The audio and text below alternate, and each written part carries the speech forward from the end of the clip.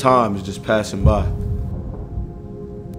You're looking at Tre Mason right there from Auburn. What a great season he had. Jackson's finished sixth in the Heisman voting. Mason here's got a lot of room. Tre Mason to the house. It off to Mason. End zone, our first touchdown. Tre Mason hits Pater. I'm not here to sugarcoat nothing because I'm sure every person go that picks up a football or basketball, you don't want to just be watching. You want to help contribute to win.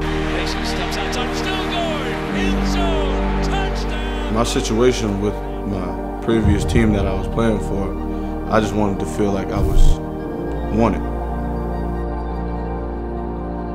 Uh, we could talk about the time I got in trouble on my forward. Oh yeah. Feel like sometimes with the media, they don't always want to be correct. They want to be first. Oh, he's crazy. Or he went missing. I made a mistake off the field, and that's brought me to being out of the league.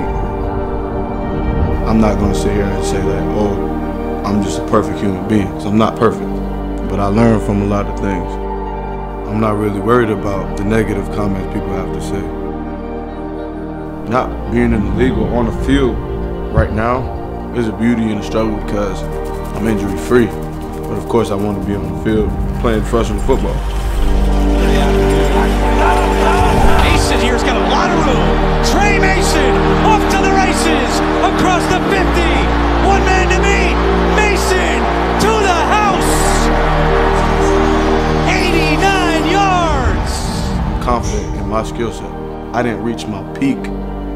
I'm not even close to my peak on a lot right now. I'm young. I'm 24 years old. I feel great. I just feel like athletically, spiritually, mentally, I'm just in a better place.